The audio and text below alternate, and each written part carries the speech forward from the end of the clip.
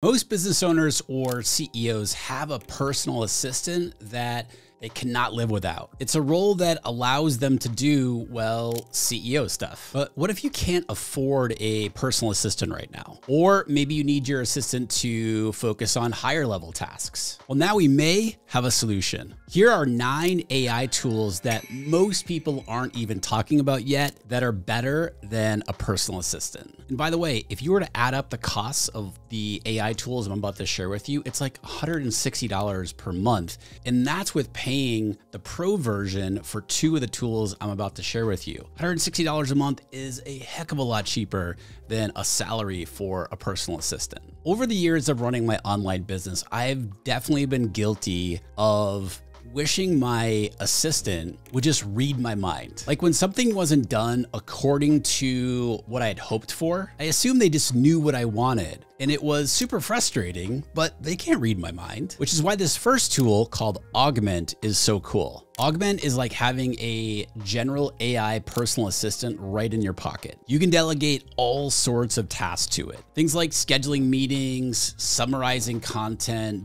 booking travel, creating lists for you. It adapts to your workflow across all the apps that you use and really allows you to be the most productive version of yourself. It's scary how capable this AI tool is becoming as it's based on your own personal content, preferences, history. So if you forget something, for example, and you ask it a question that only you would know the answer to, it will know the answer to it. Now, one limitation with Augment, and I totally get it, but it does not yet work with the Arc browser, which I am using 100% of the time. I absolutely love the Arc browser. Okay, Okay, so for tool number two, let's talk about email management, which is a very common task that a personal assistant might take care of for you. Because let's face it, managing your email inbox is the bane of most people's existence, including mine. I used to spend hours sorting through and trying to organize my overflowing inbox, which was a huge time suck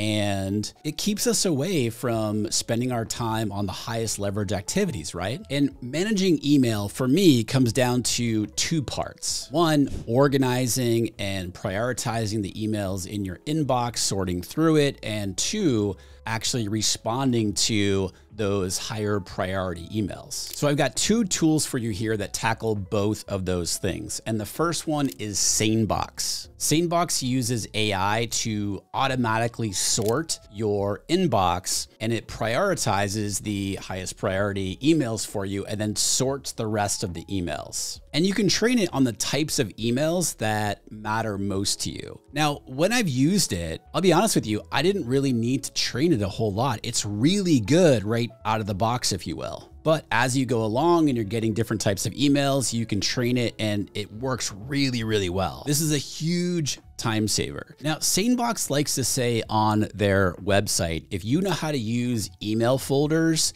then you will know how to use SaneBox. So even though SaneBox is super cheap, if you've got your Gmail or Outlook or what have you super dialed in with filters and rules and so forth, you wouldn't really need SaneBox. But if you don't have those types of things super dialed in, like let's face it, most of us, and you just want an inbox assistant to just take care of it for you, SaneBox will do that for you really, really well, and it's very inexpensive. So now that you have these emails prioritized, it can take a lot of time to respond to those emails. And I'll be honest with you, I tend to leave a lot of emails in my inbox that need to be responded to. I think my brain just thinks that it's going to take a lot of time to respond to the emails. Well, that's exactly where this next tool comes in. It's called called Harpa AI. I think that out of the entire list of tools that I'm sharing with you here today, Harpa is probably my favorite tool and the one I'm most excited about. Harpa and the last one I'll share with you. Now, Harpa is a Chrome extension, and yes, I can get it in Arc, the browser I use all the time and it's a super helpful AI assistant. Among a bunch of other things that Harpa can do for you, Harpa can reply to emails for you. When you're in your inbox with Harpa, it takes literally two clicks you get to choose the sentiment of the email and kind of how you want to respond, and it will write the response for you. You can teach it your writing style, your tone of voice, which LLM you want to use, whether it's like ChatGPT 4 or Claude 3. I have been loving Harpa. Now let's talk about calendar management, which is another super important task that a personal assistant usually does. So for me, one thing that I've really been working on is trying to time block my most important tasks that I need to get done each day around when my energy and focus is the highest. And for me, that's in the mornings. And my calendar has always been out of control, and dealing with the calendar totally sucks the energy right out of me. And I've used Google Calendar for years, and it's great but it's let's face it it's, it's a manual process right it doesn't really have any at least at the time recording this video any sort of scheduling logic built into it. And with that prioritizing and time blocking, another thing that I used to hate doing is trying to coordinate meetings with other people across different time zones. You know, all the back and forth emails for trying to find a time that works for everybody, huge headache. Well, this next tool called Motion solves all of this. What Motion does is it takes all of your projects and tasks, prioritizes them, time blocks them for you on your calendar, and then dynamically optimizes your schedule throughout your day all automatically. And no more back and forth trying to find a time that works for everybody. Motion handles all of this in the background so you know exactly what you're going to be working on and when you're going to be working on it. You get to set all the parameters of your schedule what you want your schedule to look like when you have the highest energy, the most focus during the day. You set those parameters and then motion takes care of everything else. Now, how about project management? I do not like details. I hate the details. But when it comes to managing projects and tasks, there's certainly a lot of details.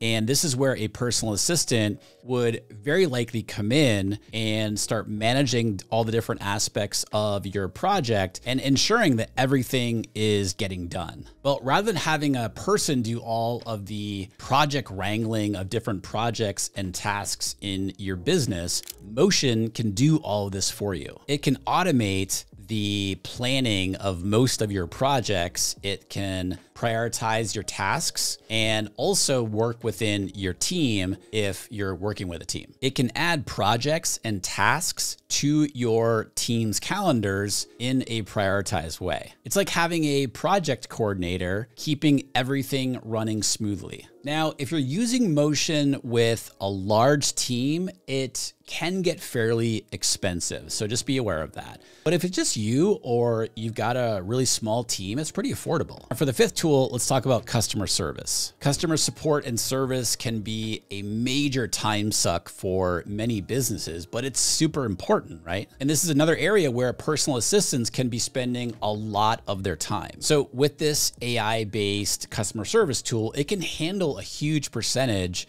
of common customer questions that you might be getting. And of course, escalating to an actual person on your team when needed, but a lot of this can be automated. And this tool is called Zendesk. Now, I understand you have very likely heard of Zendesk before. I think it is the best AI based customer service tool out there. Zendesk can really free up your personal assistant's time so they can be focusing on higher level issues and really be keeping your customers happy with quick responses to their questions. Now with Zendesk, and I also realize that with most customer service tools these days, you can do this, but you can create a customer facing chatbot that is trained specifically on a knowledge base that you create. But I think the really cool aspect of that is if customers are asking questions that are not covered in your knowledge base, Zendesk has an AI that will suggest to you pieces of content or answers that needed to be added to your knowledge base so that it will fill in the gaps and be able to answer similar questions in the future. Now for this next tool, as an online business or the CEO of your business, you know that you need to stay informed